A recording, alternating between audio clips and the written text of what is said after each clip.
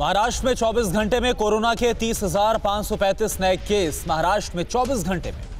Corona से निन्यानवे लोगों की मौत। महाराष्ट्र में 24 घंटे में कोरोना के 11,314 मरीज़ रिकवर भी हुए।